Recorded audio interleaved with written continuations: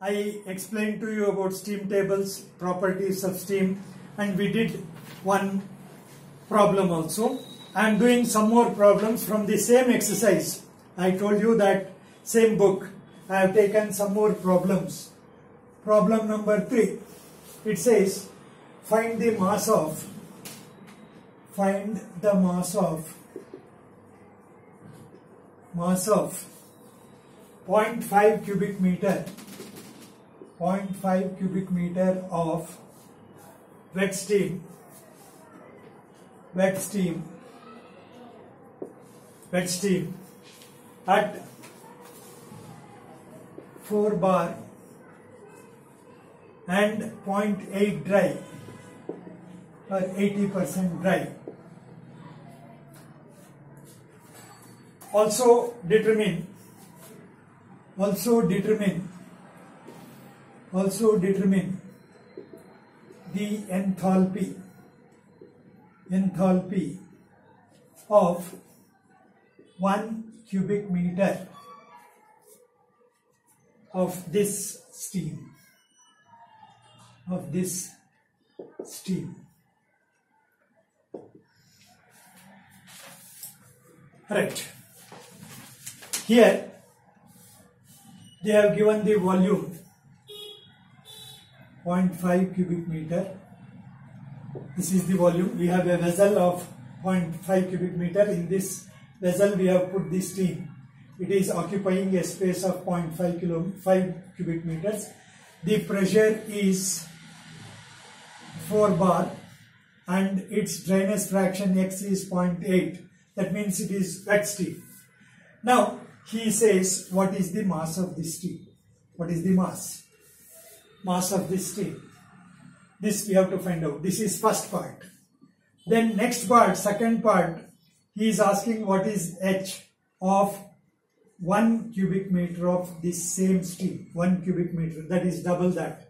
What is the uh, enthalpy of that steam? So first we will do this.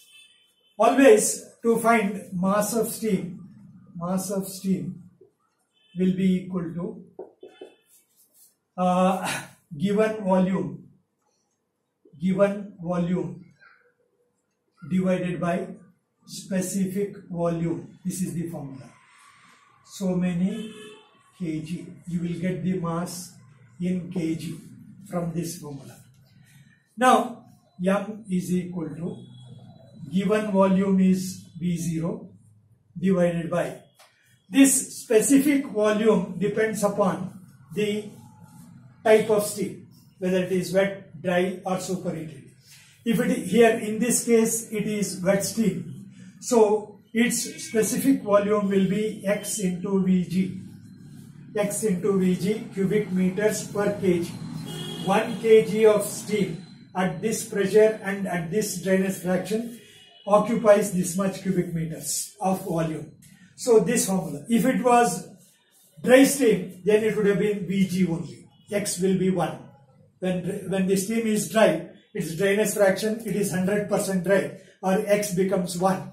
So then it would have been Vg only. If it is superheated steam, they would have given the temperature into capital T sub by capital T sat. Vg into capital T sub by capital T sat, then you would not have had X here. Okay, you, you, you would have had T sub by T sat there. So this is 0.5 cubic meters divided by X is 0.8. Now Vg value for this pressure I will get from the steam table. From the steam table pressure base for uh, Vg is 25.54 25.54 cubic meters per kg. No, no, sorry. Vg is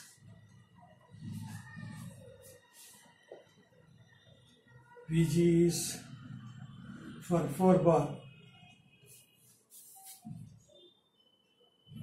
0.4623 0.4623 cubic meters per kg.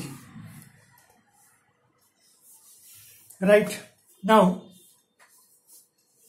if I do it 0.5 divided by 0.8 divided by 0.4683 if I do I am getting 1.33 or 34 kgs. 1.34 kg. 333 something you are, getting. You can take it as 1.34 kgs next. Next part. So this part is done. This part is over. Next what is the enthalpy or what is the heat in 1 cubic meter of steam at this same thing now this is wet steam. So it will be hf plus x hfg if it is wet steam it will be steam into mass of steam. Here mass is not known. So again, this mass will be equal to, now you have to take it as 1 divided by 0.8 into 0.4623. It will be twice that. Twice that. 1 divided by 0.8 divided by 0.4623 that will be 2 point, 2.7 kgs. 2.7 kgs. Right. Now I have to make a substitution here. M is 2.7 into HF sensible heat for 4 bar. It is HF is 605 605 plus x is 0.8 into HFG is 2134 2134 so it will be first do this 605 plus 0.8 into 2134 equals multiplied by 2.7. So it will be 6242.94 or you can take it as 6243. 6243 kilojoules. Kilojoules. That is the enthalpy of steam enthalpy of 1 cubic meter of steam. We have to convert this 1 cubic meter into mass. Same formula, mass will be always V0 by XVG. V0 here I will take as 1. X is same and the pressure is same so the value of Vg also will remain the same. It will be 6243 uh, or roughly that much kilojoules.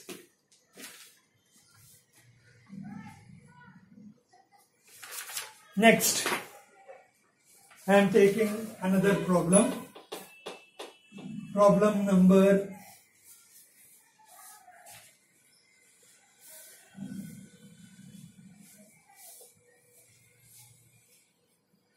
problem number 4 1 kg of water. So mass is 1 kg. Mass is 1 kg water at 47.8 degree centigrade. 47 point that is the initial temperature of water is heated at constant pressure of 14 bar. P is 14 bar. This is problem number 4 at a pressure of 14 bar and is converted to steam with 110 degree of superheat means T sup minus T sat. That is degree of superheat is 110 degree centigrade. 110 degree centigrade. Determine the quantity of heat supplied. What is the quantity of heat supplied? That is H is how much? Take Cp for superheated steam. This is superheated steam. So take this as 2.1 kilojoule per kg degree Kelvin. So even if it is not given, we will take this value only. We will take normally 2.1. 2.1 as the specific heat of superheated steam. Now, again what is asked is H. Here, this will be mass. Mass here is 1 kg. So even if you don't multiply, 1 into anything is the same quantity. So even if we don't multiply, it doesn't matter. But anyway, we can have it. Now because it is superheated steam now, it is Hg. Hg plus Cp into T sup minus T sat that is degree of superheat that is directly given as 110 degree centigrade. They can give T sup also then T sup directly. If they say at so many degree centigrade it is T sup only then T sat will take from the steam table for this pressure minus I told you SW that is specific heat of water into T1. You can do it like this. It's easy. So H is equal to 1. Even if you don't put, it doesn't matter. If it is 1 kg, it makes no difference. 14 bar Hg. Hg is 2790. 2790 for 14 bar. For this pressure, from the steam table, it is 2790. If it was just dry steam, this would not have been there. It would have been only this much. But because it is superheated steam, you will get that. 2.1 into 110, this is direct, minus 4.2, you can take it, and this is 47.8 degrees centigrade. So you can do it now. If it was wet steam, it would have been HF plus X HFG there. So it depends upon the condition of steam. 2790 plus 2.1 into 110 minus 4.2 into 47.8 47.8 the answer is 2820 2820 kilojoules because it is 1 kg for 1 kg we can write it as per kg. 2000 this steam. The, to make this steam at this condition we have to supply 2820 kilojoules of heat to produce 1 kg of steam. That's the answer. Next I have taken problem number 5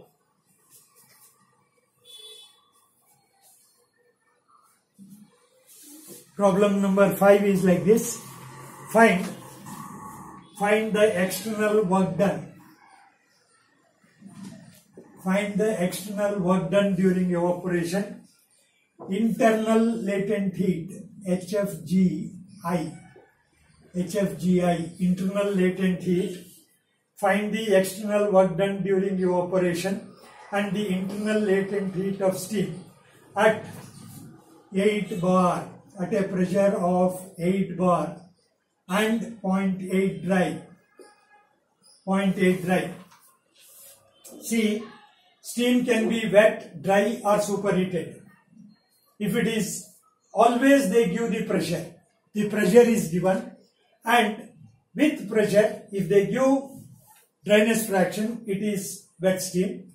If they give if they say it is dry then it is dry steam if they give temperature or degree of superheat it is superheated steam you have to understand that. Right. Now they are asking external work done during evaporation. External work done during evaporation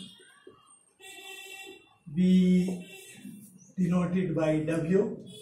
This will be 100, 100 P into, because it is wet steam, XVG. So many kilojoules per kg. If they have not given mass, it should be assumed as 1 kg per kg. If it is anything other than 1 kg, you will get into this. thing. Say external work done is the product of pressure and specific volume. Specific volume is XVG because it is wet steam and pressure is 100 P. That 100 is to convert it from bars to kilopascals. We will multiply it by 100. So 100 into 8 into X is 0.8. Vg we have to take from the steam table for that particular pressure. For 8 bar pressure, 8 bar pressure, it is 0.2403. 0.2403. That is the, the Vg, value of Vg for 8 bar. I have taken from this new table. So this works out to how much? 100 into 8 into 0.8 into 0.2403 that will be 153.8 153.8 kilojoules per kg.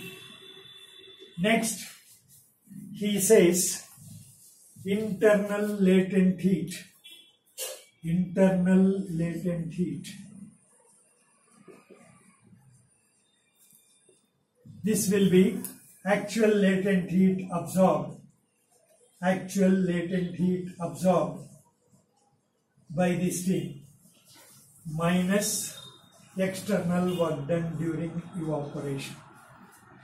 This is the definition. So I have called it as HFGI means internal HFG is latent heat.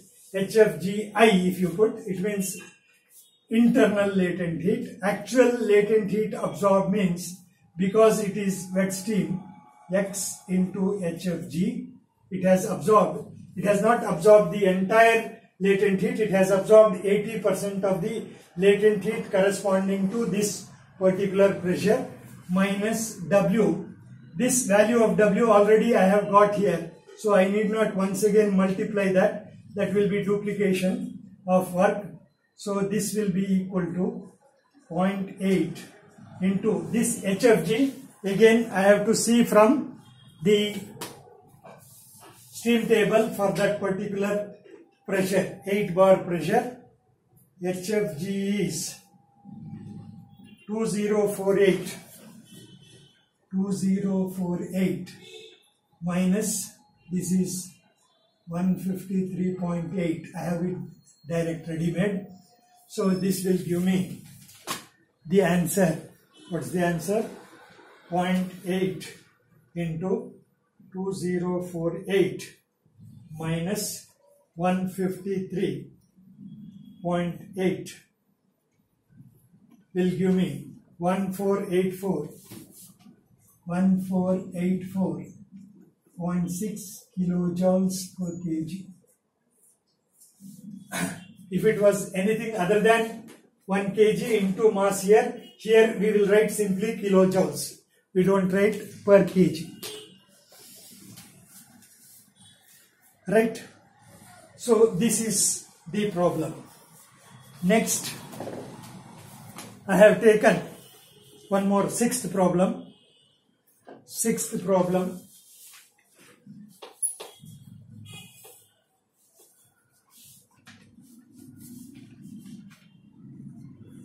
From the same exercise, I have taken one more problem, sixth problem. It says,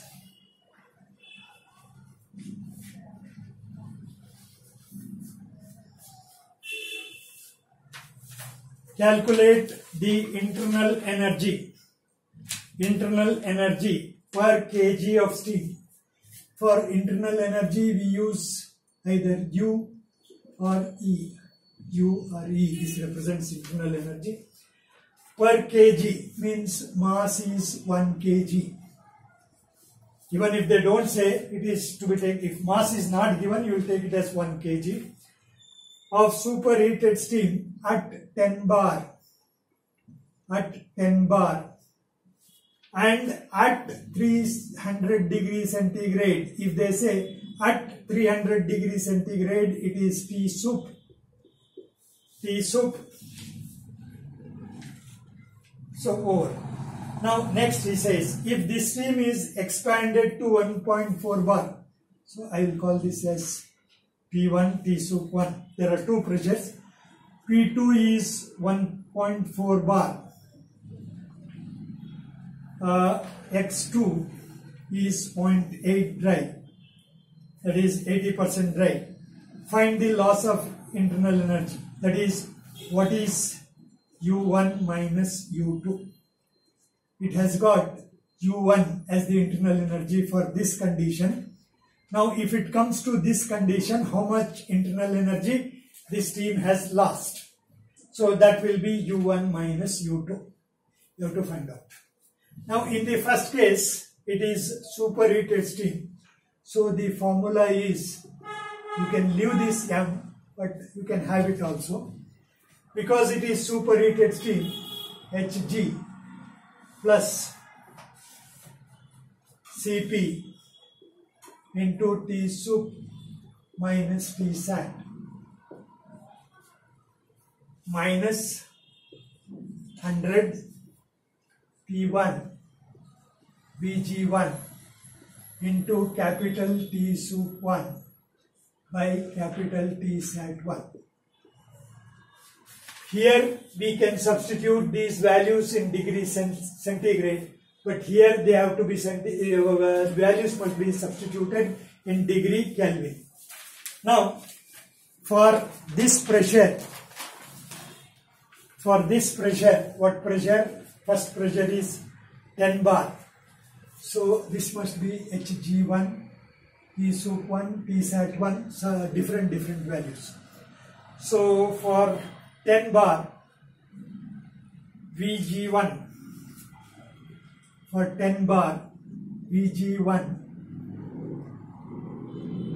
Vg1 is 0.1944, 1944 cubic meter per kg. Hg1 Hg Hg1 is 2778 2778 kilojoules per kg Hg1 and uh, Tsat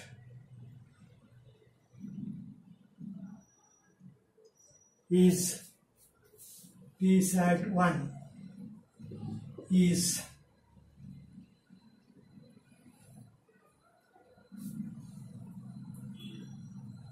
one seventy nine point nine. You can take it as one eighty degree only. Take it as one eighty, no problem. 180 degree centigrade Tsat 1 Pg1. Now capital T sup 1 will be 300 plus 273 that is 573 degree Kelvin. T sat, capital T sat 1 capital T sat 1 will be 180 plus 273 that will be 453 degree Kelvin. Now U1 make this substitution. M is 1 you can leave it also. Hg1 2778 right? Hg1 plus Cp it is not given. If it is not given, I can assume it as 2.1 multiplied by 5 uh, this thing 300 minus 180 here minus 100 into 10 into VG1 0.1944 into here. It should be in degree Kelvin 573 divided by 453 so you have to calculate now. First what I will do I will do this. 300 minus 180 that is 120 300 minus 180 is equal to you put into 2.1 multiply. Only this is to be multiplied by this. Plus 2778 I added this minus 100 into 10 into 0.1944 0.1944 into 573 divided by 453 equals 2784 I am getting 2784 2784 kilojoules per kg. This is the internal energy. For this condition this is the internal energy. Now if it is reduced to this condition what will be the loss of internal energy? For that I have to find out U2 now U2 will be the stream is wet here so U2 will be equal to U2 will be equal to M, M is 1, you can leave it. Uh, HF2 plus HFG2, X2 into HFG2 minus 100 P2 X2 VG2. So many kilojoules per kg. Now all these values, X2 is known 0.8, all these HF2, HFG2, VG2 we have to find for 1.4 bar. So for 1.4 bar,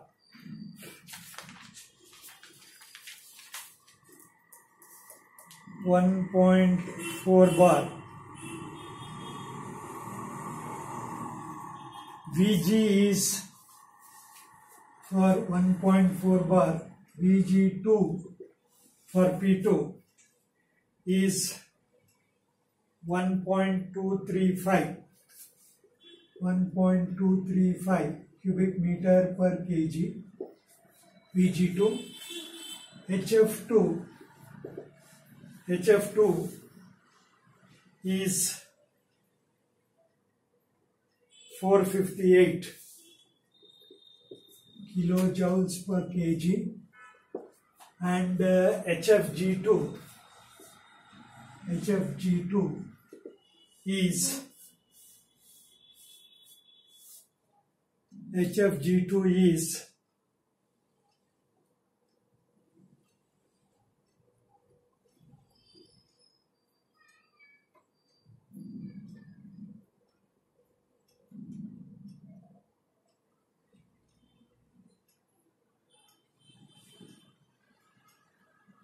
two, three,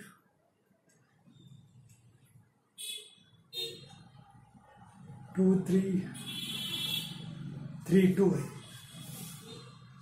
two, three, three, two kilojoules per kg.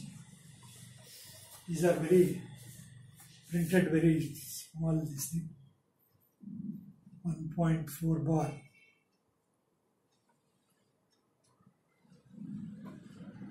Two three three two. No, two two three two. I think. Two two three two. Two two three two. Kilojoules per kg.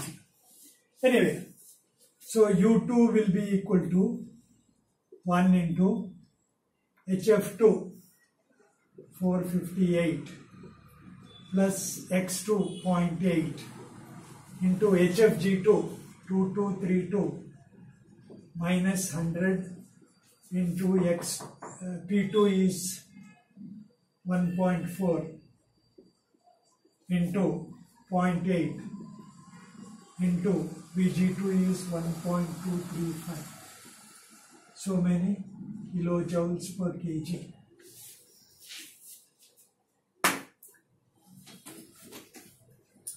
kilojoules. So 458 plus 0.8 into 2232 minus 100 into 1.4 into 0.8 into 1.235 will give me 2105 2105 point something that's enough. Kilojoules per kg now u will be equal to loss will be equal to u1 minus u2 that is 2784 minus 2105 uh, 2784 minus 2105 will give me 679 679 kilojoules per kg. This is the amount of internal energy lost by 1 kg of steam when its condition changes from this to this. Okay friends,